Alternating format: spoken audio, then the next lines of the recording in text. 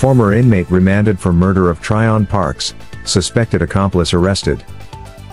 Bevan Stefan Griffith, recently released from prison, faces charges in violent vendor murder.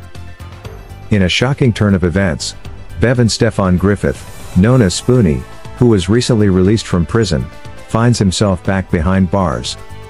Griffith, infamous for a drunken attack that claimed the life of Sophia resident Selwyn Mark Allen on Christmas night in 2017, is now facing charges and has been remanded for the murder of Trion Parks. Griffith, a 27-year-old laborer residing at Lot 12 Dennis Street, Sophia, was sentenced to 18 years in prison on November 23, 2021.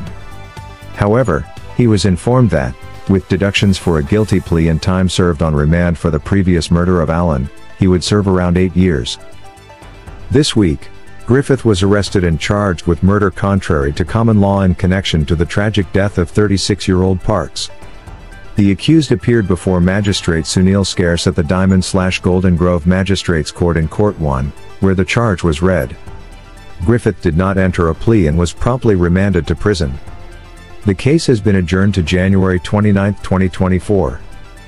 Upon Griffith's arrest, a .38 revolver, one live suspected matching ammunition, and a spent shell were discovered in his possession. Additionally, his alleged accomplice, Isaiah Greaves, also known as Daniels from Befield Sophia and the motorbike rider during the incident, was also taken into custody. Trion Parks met a tragic end on Thursday, November 23, succumbing to injuries sustained during a shooting and robbery that occurred on November 18, 2023. Reports indicate that Parks, residing at Lot 107 Eccles, East Bank Demerara, EBD, suffered four gunshot wounds during a home invasion and was robbed of three gold chains he frequently wore around his neck.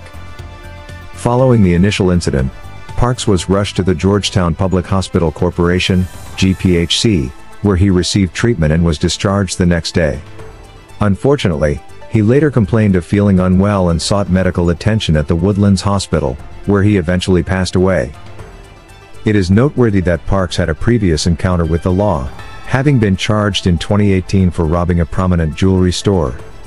In that incident, Parks and others broke into the L. Prasad Mirage and Sons jewelry store at Stabroek Market, Georgetown, stealing a substantial amount of gold and diamond jewelry valued at $20 million, along with $2 million in cash. He was remanded to prison but was later released on bail pending trial.